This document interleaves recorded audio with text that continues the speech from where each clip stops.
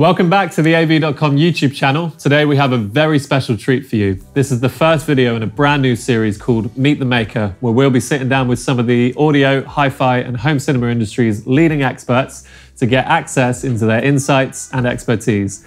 Today we are joined by the brilliant David Bosch of KEF. David, thank you so much for being here with us today. Thanks, Tim, for inviting me. I'm very excited to talk about speakers today. So why is the new UniQ in the R Meta series so special?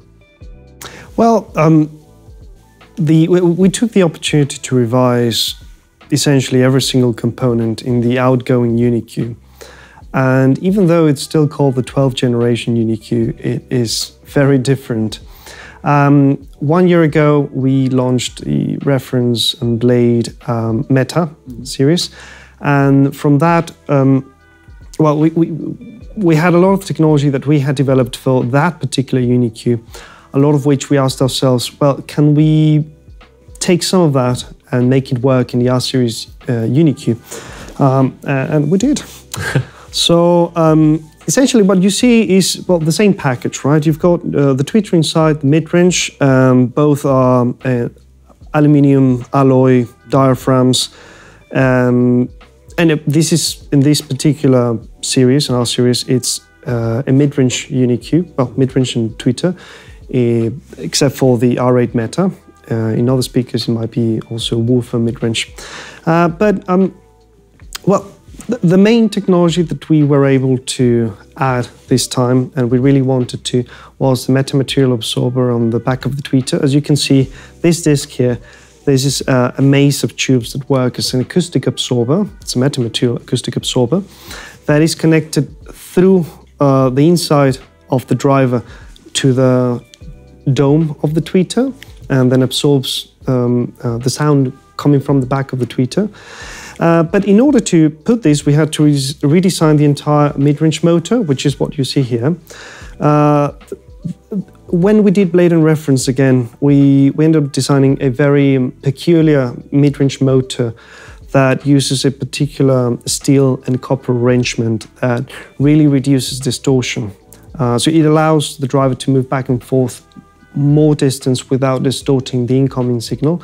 And we were able to build that in R series as well, which was a great achievement. Um, Another thing that's very exciting that we added is what we call the flexible decoupling chassis. So the chassis is this bit that connects essentially the, the main bit of the driver, the motors, with the, the cabinet, right? And usually a chassis needs to be as stiff as possible so that this bit, which is quite heavy, um, is you know securely attached to the speaker.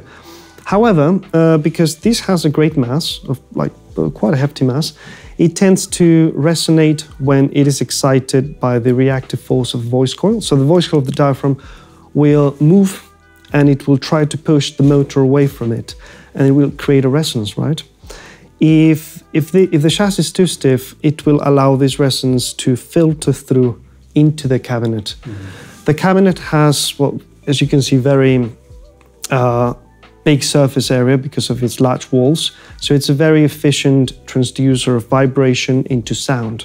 And this is one of the things that we really want to minimize when we are designing our speakers. We want um, you to listen only to the output of the drivers, not the cabinet resonating.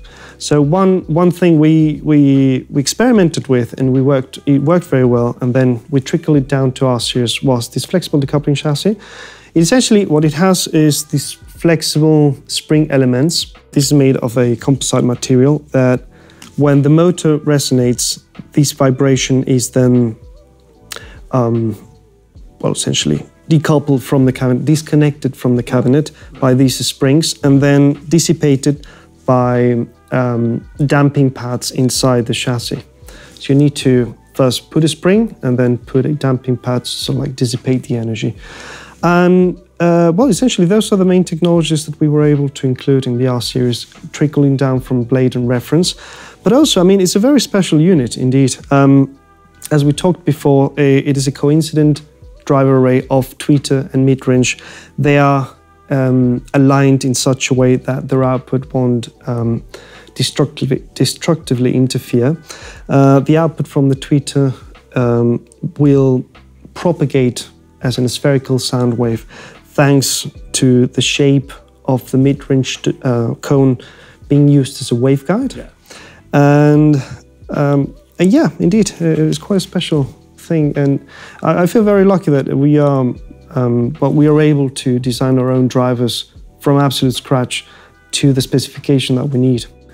So, what was one element of that that you were particularly involved with, and maybe something that you're uh, most proud of within that? Well, um, I, I, I, had to do with industrialization of this uh, this particular driver, Yeah. and some of the design of the inner parts of the motor. Um, basically, when we have a design, we have to think about how we're actually gonna make that happen. And several of the engineers will have several inputs into different components. One of us will design the surround, one of us will design maybe the decoupler, uh, the motor, etc. Um, in this particular case, I had more to do with the preparation of like getting the, the first prototypes and um, so like fine tuning them until they are they perform correctly, see. until we know that there are no strange sources of distortion, that it works at exactly as our simulations predict, um, that we're in complete um, understanding of what's going on in the driver.